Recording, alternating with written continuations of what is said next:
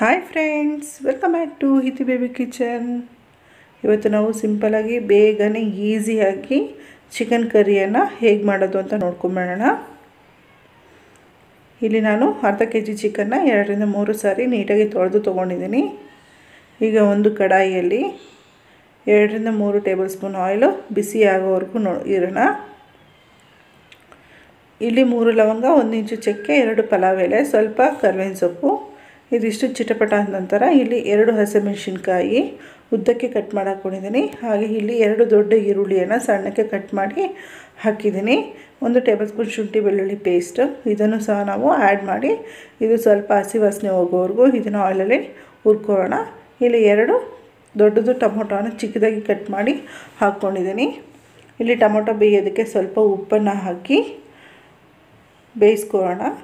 ನೋಡಿ ಈ ಥರ ಟೊಮೊಟೊ ಎಲ್ಲ ಸಾಫ್ಟಾಗಿ ಹಾಕಬೇಕು. ಈಗ ನಾವು ಸ್ವಲ್ಪ ಹೊತ್ತು ಲಿಡ್ಡನ್ನು ಕ್ಲೋಸ್ ಮಾಡಿ ಒಂದು ಎರಡರಿಂದ ಮೂರು ನಿಮಿಷ ಬೇಯಿಸ್ಕೊಳ್ಳೋಣ. ನೋಡಿ, ಟೊಮೊಟೊ ಎಲ್ಲ ಜ್ಯೂಸಿ ಜ್ಯೂಸಿಯಾಗಿ ಆಗಿದೆ. ಈಗ ಟೊಮೊಟೊ ಬೆಂದಿದೆ. ಈಗ ನಾವು ತೊಳೆದಿಟ್ಟಿರೋಂಥ ಚಿಕನ್ನ ಇದಕ್ಕೆ ಆ್ಯಡ್ ಮಾಡೋಣ. ಈಗ ನಾವು ಇದನ್ನು ಆಯಿಲಲ್ಲಿ ಫ್ರೈ ಮಾಡ್ಕೋಬೇಕು. ಮೀಡಿಯಮ್ ಫ್ಲೇಮಲ್ಲೇ ಫ್ರೈ ಮಾಡಿ ಫ್ರೆಂಡ್ಸ್ ತುಂಬಾ ಒಳಗಡೆ ಎಲ್ಲ ಚೆನ್ನಾಗಿ ಬೇಯುತ್ತೆ ಚಿಕನ್ನು. ನೋಡಿ ಈಗ ಒಂದು ಐದರಿಂದ ಹತ್ತು ನಿಮಿಷ ಮೀಡಿಯಮ್ ಫ್ಲೇಮಲ್ಲಿ ನಾವು ಲಿಡ್ ಕ್ಲೋಸ್ ಮಾಡಿಬಿಟ್ಟು ಬೇಯಿಸ್ಕೊಳ್ಳೋಣ. ನೋಡಿ ಈಗ ಬೆಂದೋಗಿದೆ ಚಿಕನ್ ಎಲ್ಲ. ತುಂಬ ಅಂದರೆ ತುಂಬ ಟೇಸ್ಟಿಯಾಗಿರುತ್ತೆ ಈಗ ಇದಕ್ಕೆ ಮಸಾಲೆ, ಒಂದು ಟೇಬಲ್ ಸ್ಪೂನ್ ಖಾರದ ಪುಡಿ, ಒಂದು ಟೇಬಲ್ ಸ್ಪೂನ್ ಚಿಕನ್ ಮಸಾಲ ಕಾಲು ಟೀ ಸ್ಪೂನ್ ಜೀರಾ ಪೌಡರ್ ಕಾಲು ಟೀ ಸ್ಪೂನ್ ಅರಿಶಿನ ಹಾಫ್ ಟೀ ಸ್ಪೂನ್ ಧನಿಯಾ ಪುಡಿ half tea spoon garam masala. ಇಷ್ಟನ್ನು ಆ್ಯಡ್ ಮಾಡಿ ಈಗ ರುಚಿಗೆ ತಕ್ಕಷ್ಟು ಉಪ್ಪು.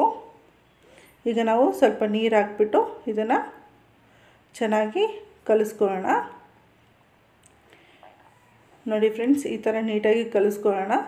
ನಿಮ್ಗೆ ಎಷ್ಟು ಬೇಕೋ ಅಷ್ಟು ಕ್ವಾಂಟಿಟಿ ವಾಟರನ್ನು ಹಾಕ್ಕೊಳ್ಳಿ ಈಗ ಕೊತ್ತಂಬರಿ ಹಾಕಿ ಇನ್ನೊಂದು ಸಲ ಕಲಿಸ್ಕೊಂಡು ಲಿಡ್ಡನ್ನು ಕ್ಲೋಸ್ ಮಾಡಿ ಬೇಯಿಸ್ಕೊಳ್ಳೋಣ. ನೋಡಿ ಈಗ ನಾವು ಬೆಂದ್, ಬೆಂದಿದೆ ಈಗ. ರೆಡಿಯಾಗಿದೆ ಫ್ರೆಂಡ್ಸ್ ಇದು. ಇಷ್ಟೇ ಫ್ರೆಂಡ್ಸ್, ತುಂಬ ಈಸಿಯಾಗಿ ಬೇಗನೆ ಮಾಡ್ಬೋದು.